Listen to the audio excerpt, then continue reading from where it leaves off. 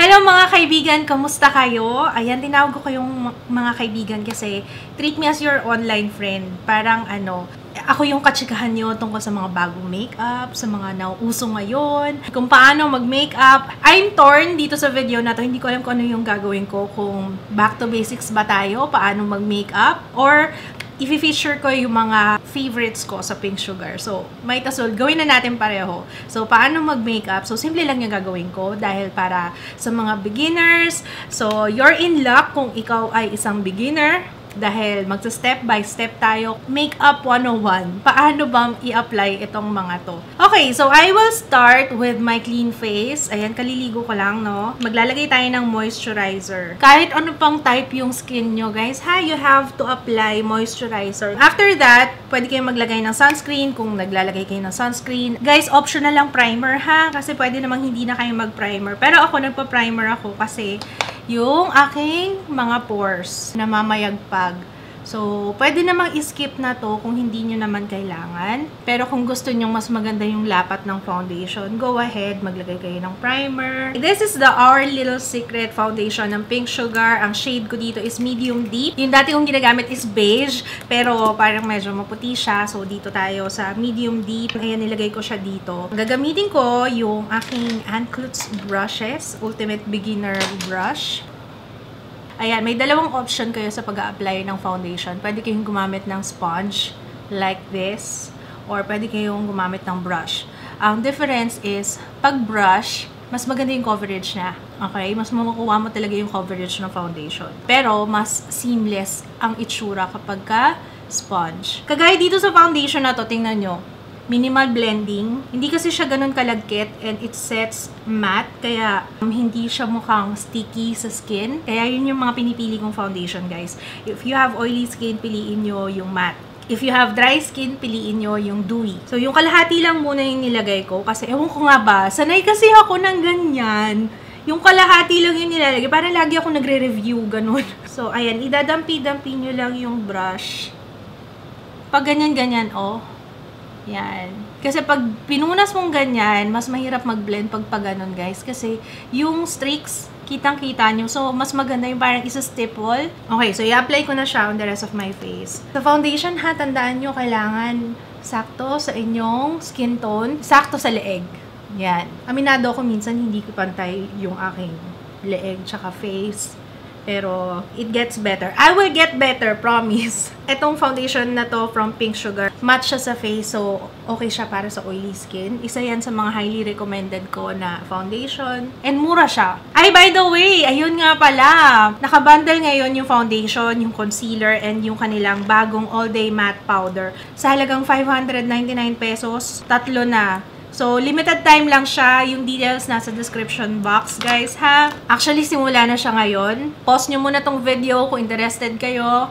Gora na sa Lazada, you know the drill. Next, maglagay na tayo ng concealer. I will be using yung Our Little Secret Concealer in the shade Light Warm. Ayan, sa pagpili ng concealer, guys, 1 to 2 shades lighter than the foundation na ginamit mo. Okay? Kasi ang purpose ng concealer is to conceal and at the same time to highlight. Hindi natin ma-highlight yung mga areas na gusto nating i-highlight kung hindi lighter yung kinuha mo shade. Konti-konti lang muna, especially kung hindi ka pasanay gumamit ng concealer. Pero ako ganyan ako maglagay. Ito kasi manipis to yung concealer na to. So, okay lang. Buildable pa rin naman yung kanyang coverage. Ayan, maglalagay ako sa nose, under eye area para matakpan yung eye bags. And then, sa noo, just to highlight yung area na yan.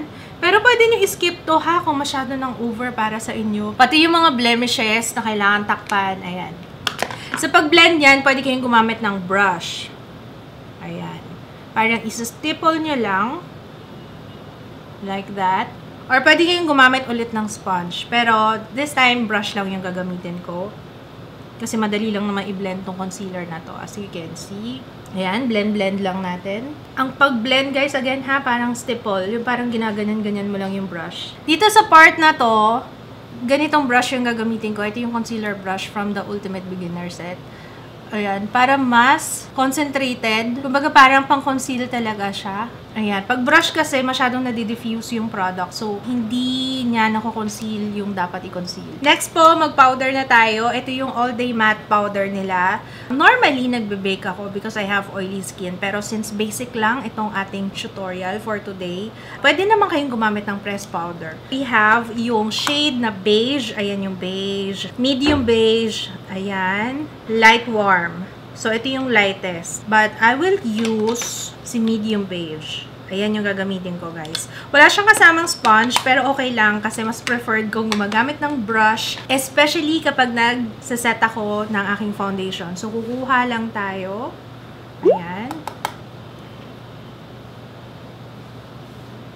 And then, I will set my foundation. Kung dry to normal yung skin nyo, hindi nyo na kailangan pang mag-set kasi matte yung foundation na to. Kaya tayo nagsiset guys ha, kasi para hindi gumalaw yung foundation, ma-maintain niya na nandyan lang siya nakakapit sa skin. Nagdagdag siya ng added coverage dito sa aking skin.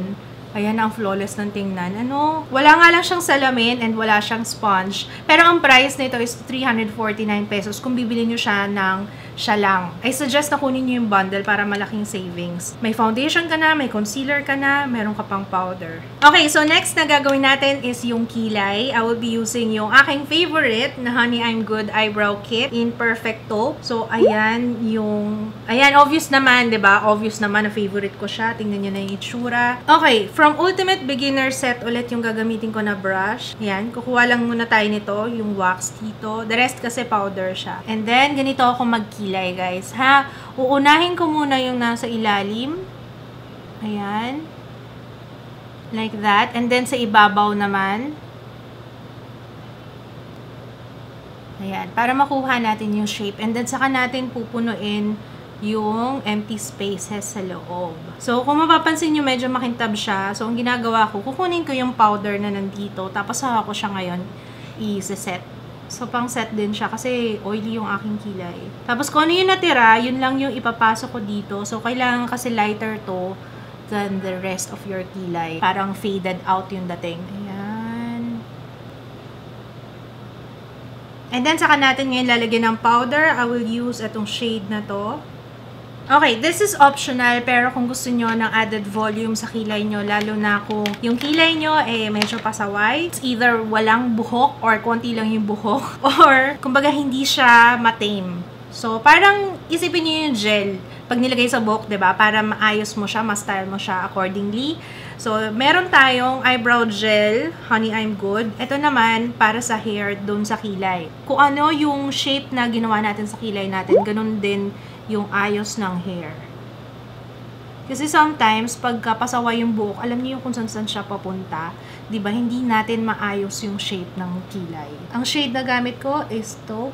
Moving on sa eyes, kunin natin ulit yung concealer kasi yun yung gagamitan nating primer para sa ating eyeshadow. Uh, kaya ako naglalagay ng ganon is para mag-pop yung kulay, mas maganda yung itsura niya sa eyelids, and para mas mapatagal yung ating eyeshadow. Then, blend lang natin yan using our fingertips. Kung ano yung natira, pwede natin ilagay sa lower lash line kung maglalagay din tayo ng eyeshadow. Pag smoky eye look, naglalagay ako ng pakonti-konti dyan para kumapit din yung eyeshadow dun sa ilalim. Pero again ha, optional guys kung hindi kayo nagaganon, pero at least 'di ba para ma-touch base din natin 'yan yung tungkol sa paglalagay ng eyeshadow. Okay, sa eyeshadow, I will be using yung eyeshadow quad and this one is cotton candy. Lahat ng shade na to gagamitin natin para masulit natin tong tutorial na to. Okay, gagamitin ko yung aking dun lang tayo sa ultimate beginner since since basic itong tutorial na to. So kunin ko itong fluffy na blending brush yung malaki. Uh, itong marami tong paggagamitan. Pwede siya pang highlight, pwede siya sa pang eyeshadow pero dinesign ko to para sa eyeshadow talaga. Okay, so kukuha tayo nung brown dito. Yan, this shade. Konti-konti lang and then concentrate sa outer V like that. Tatanggalin niyo yung excess ha na product para hindi kayo mahirapan mag-blend.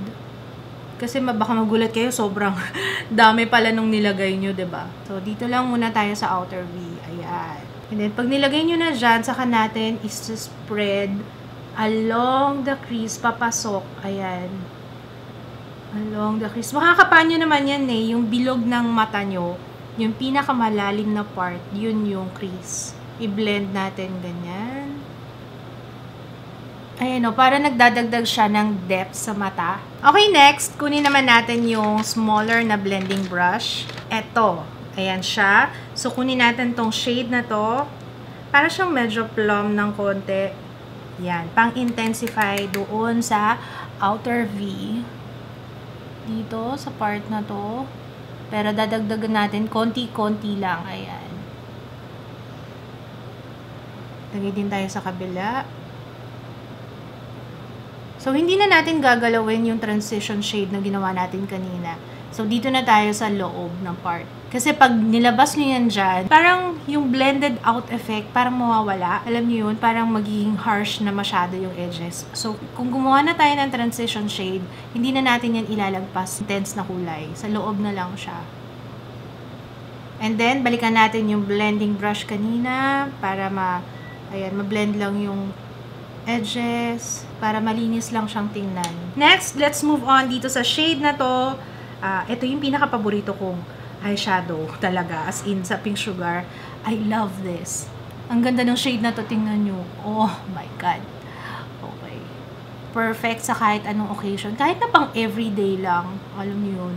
Okay, daliri na lang yung ginamit ko guys ha. Mas madali kasi kapag daliri. So, ayan, kuha tayo more. And then, nalagay natin dito. Para ipapat mo na lang siya. Ayan, para kumapit siya sa eyelids. And then, para malinis tong area na to. Ayan. Balikan natin yung intense na kulay. Ayan, i-blend lang natin para malinis siya. Okay, sa lower lash line, kunin natin yung flat shader brush and then kunin natin yung brown muna. Kung saan tayo nag-start. And then lalagay natin sa lower. Ito para sa smoky eyes lang kung gusto nyo ng ganong effect. Pero you can skip this kung ayaw nyo. So, optional naman siya. And then next, intensify natin. Kunin natin tong shade na to. halfway lang. Para magising yung mata natin, maglalagay tayo ng eto. Pwede rin to pang highlight guys ha. Ito oh. And then ilalagay natin yan doon sa inner tear duct. Ayan. Ayan. Linisin lang natin ng konti. Ayan, tapos na tayo sa eyes. Eyeliner na lang.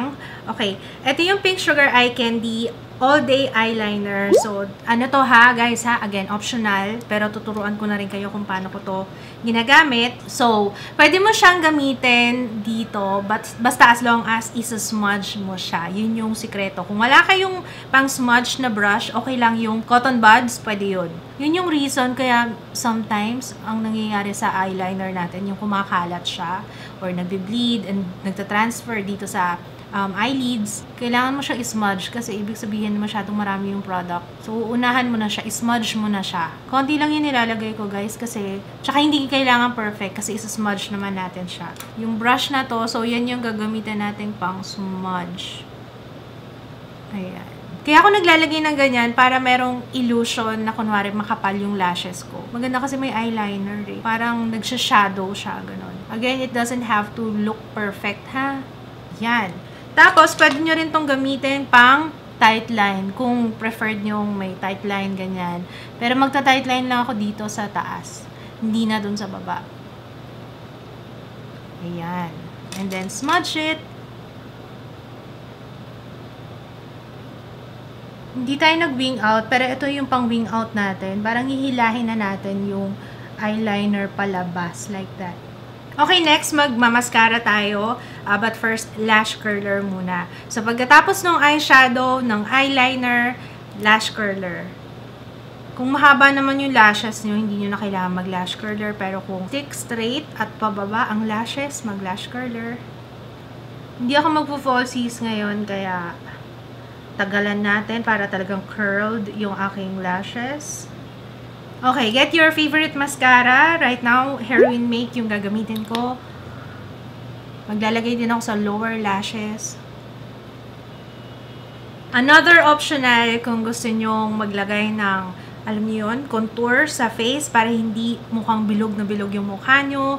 If you want added dimension. I will be using yung Morocco. Ayan, yun yung HD Chic Color in Morocco Contour Brush. Ayan. This is my favorite brush dito sa Ultimate Beginner. As in, my favorite na pang contour. Well, ito rin naman kasi yung pinaka-paborito kong ginagawa, mag-contour. Huwag na mag-diet, mag-contour na lang, ba? Ayan. Kung ano yung natira, yun yung ilalagay ko dito sa noo. Dito, yan. So, parang paikot, pag ganyan, pag ganito, and then dito. O, ba diba? Compare natin, itong side na to, against this side, ito parang bilog na bilog, ba diba? Ito parang, mmm, pak! Parang na jetta. Lalagay din ako sa ilalim ng jaw para lumabas yung jawline natin. Hmm, ba? Dito sa temple. And then dito na malapit sa hairline para maitago yung double chin. Dito rin sa baba. Blush muna tayo. HD cheek color ng Pink Sugar. Ayan, Summer Nights. Ganda nito. Peach na matte shade. Kuha tayong brush. Then, ilalagay natin yan dito sa apples ng cheeks. Iko-connect natin dun sa ibabaw ng contour na ginawa natin. And then, lastly, highlight. Sin City, HD Cheek color din ng Pink Sugar. Kunin natin to. And then, kunin natin yung fan brush. Kuha tayo ng konti. Unahin muna natin yung sa nose. Wala ako nag-contour ng nose. I forgot. Okay, optional naman kasi yun eh. Kung hindi nyo na kailangan, pwedeng mag-highlight na lang kayo ng konti sa nose. Ito, optional din to actually. Um, so, balik tayo dun kay, ito yung paborito ko pang contour ng aking nose. Itong shade na to. Dun sa Honey I'm Good Eyebrow Kit. Kahit hindi na mag-brush, okay, daliri na lang yung gamitin natin. Ayan. Yan. Para magdagdag lang tayo ng nose bridge. Yan. Balik tayo dun sa highlight. Dagdag tayo dito. And then, dito sa upper cheeks. Sa highest point. Kung meron kayong oily skin, wag na masyadong mag-highlight, ha? Kasi, for sure, yung oil, yan na yung natural highlight natin later. Okay, sa lips na lang, isuswatch natin tong Creamy Matte Lip Crayon. Ito yung bago nila. So, swatch natin isa-isa. Dito na lang sa kamay. First shade, Breakfast in Bed. Oh! Uy, maganda tong pang everyday. Meron na silang ganito. Naalala ko yung breakfast in bed na, I think yung creamy matte lipstick nila, yung bullet type. Next one is Gold Digger. May pagka-wine siya na color. Ayan. Ito nude. Nude shade si Breakfast in Bed. Ito naman, wine color. Okay, next one. Let's try Woke Up Like This. Ah, meron na akong ganito. Oh, okay. Ito medyo deep naman siya compared kay Breakfast in Bed. Head over heels. Oh, mapula na to. Ayan. Next is Diva. Ah, ito yung isa sa mga paborito kong shade dati. Para siyang muted red, hindi siya ganun katingkad, pero alam mo yung pula pa rin siya. Okay, next one is XOXO. Oh, I love XOXO. Ang ganda ng shade nito.